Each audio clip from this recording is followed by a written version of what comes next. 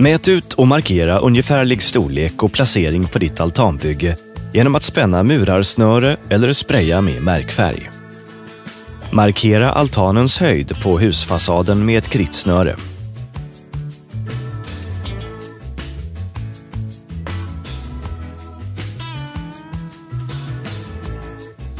Ta bort all matjord.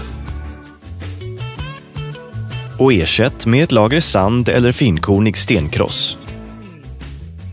Det gör att du slipper ogräs under altanen. Med en fasad av trä kan du använda huset som stöd för att fästa en bärlina genom panelen, in i de bakomliggande reglarna. Om du väljer att sätta bärlinan på en murad vägg förborrar och pluggar du.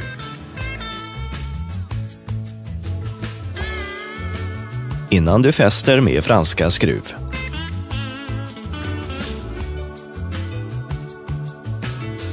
Du kan bygga på enbart plintar utan att fästa altanen i fasaden. Med fasad av fasadtegel bör du kontakta fackman innan du skruvar upp bärlina på fasaden. Bärlinan bestämmer altanens bredd och placering i sidled. Förborra en 45 x 170 mm impregnerad regel på 50 cm avstånd.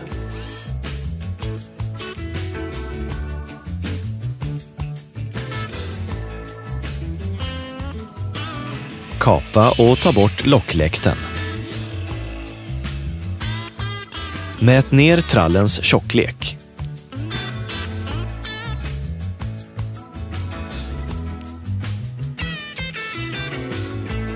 Och markera med ett nytt streck för bärlinans överkant. Fäst bärlinan i fasaden med franska träskruv och bricka.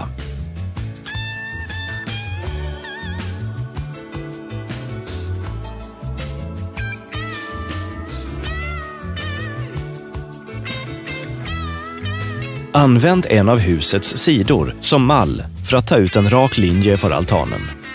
Fäst ett snöre på en skruv 20 mm ut från den bakre knutbrädan på fasaden.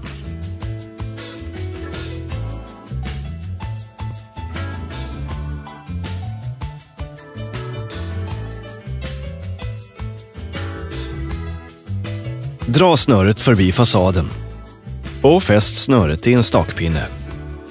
Justera placeringen till snöret passerar 20 mm ut från den främre knutbrädan. Slå ner stakpinnen en bit längre ut än djupmåttet på din altan.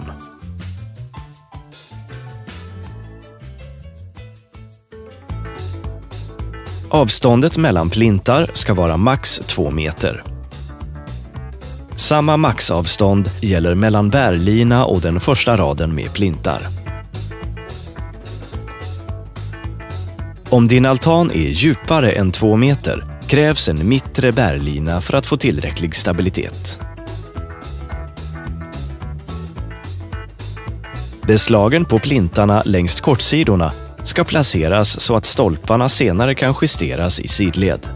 Beslagen på plintarna i framkant och de som ska bära upp under tralldäcket riktas så att stolparna senare kan justeras i djupled. För varannan meter du bygger djupare altan behövs ytterligare en bärlina.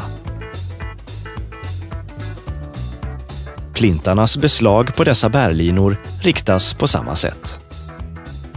Om du ska belasta altanen mer än normalt kan du behöva minska avståndet mellan plintar och öka dimensionen på reglarna.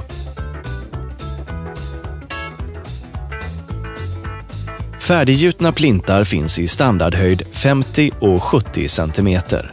Markens beskaffenhet och det frostfria djupet i området avgör vilken längd du behöver på plintarna. För 95 x 95 mm stolpar används plintar med 100 mm bredd på beslagens fattning. Beslagen är förborrade för franska träskruv.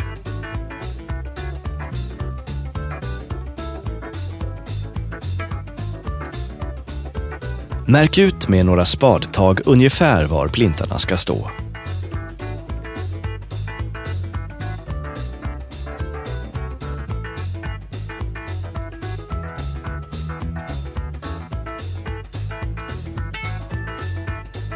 För att kunna sätta upp hörnplintarna rätt i sid och djupled ska stolparnas placering markeras med hjälp av stakpinnar och murarsnöre.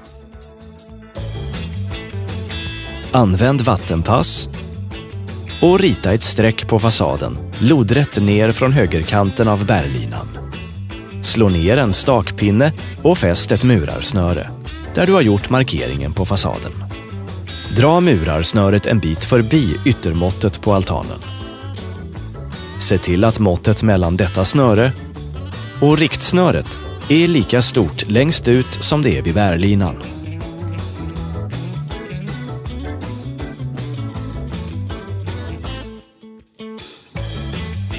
Sätt stakpinnar och murarsnöre längs den andra kortsidan av altanen på samma sätt.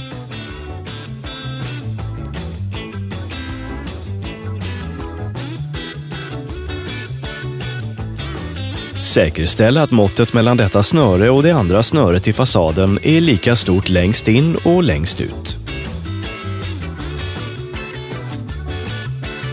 Sätt ut stakpinnar och dra murarsnöre för att markera måttet för stolparnas placering i djupled.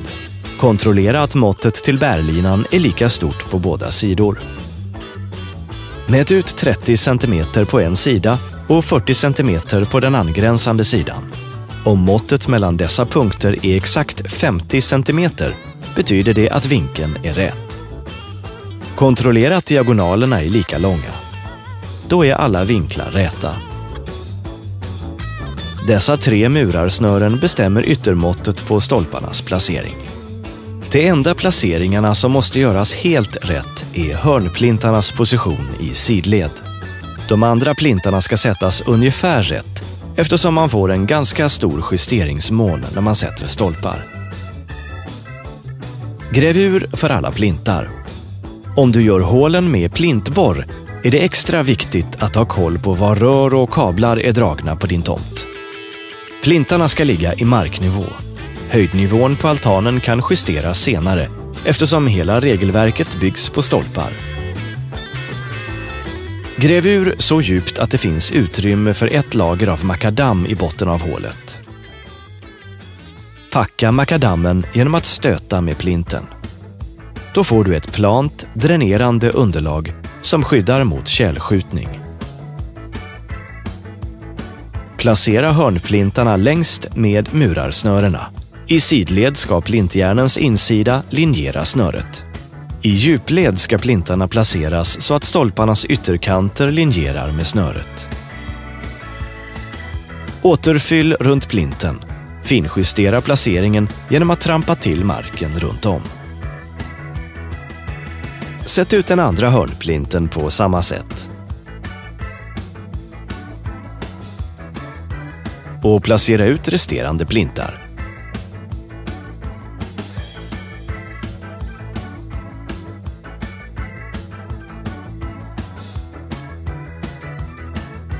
Behåll alla stakpinnar och murarsnören. De används under bygget av stommen som riktmärke för stolparnas placering. Snöret ut från husets fasad gör att du kan ta ut rätt mått även för regelverket till din altan.